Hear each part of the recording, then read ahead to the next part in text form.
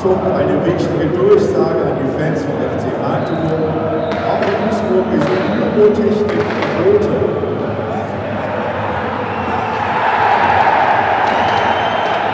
Die ganz dringende Aufforderung an die FC-Fans, macht die Pyrotechnik direkt wieder aus. Ja, das gibt doch die nächste Strafe. Also. Strafe